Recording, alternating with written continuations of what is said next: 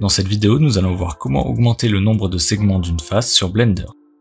Pour augmenter le nombre de segments d'une face dans Blender, on commence par sélectionner l'objet contenant la face que l'on souhaite modifier dans la vue 3D. On passe ensuite en Edit Mode et on sélectionne la face spécifique que l'on souhaite modifier. Pour ajouter des segments à la face, on a deux solutions. En effet, on peut faire clic droit et cliquer sur Subdivide pour diviser notre face.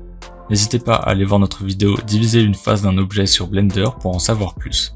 Le lien est dans la description. Il est aussi possible d'ajouter des boucles de coupe. Pour ce faire, on utilise le raccourci CTRL plus R. On déplace alors la souris vers le haut ou le bas pour ajouter un segment, puis on clique pour confirmer son emplacement. On peut aussi ajuster le nombre de segments en utilisant la molette de la souris ou en tapant le nombre exact de segments souhaités suivi de la touche Entrée. N'hésitez pas à nous donner vos meilleures idées en commentaire, à vous abonner à la chaîne, à liker et à commenter cette vidéo, et on se retrouve pour plus d'astuces et tutos en une minute.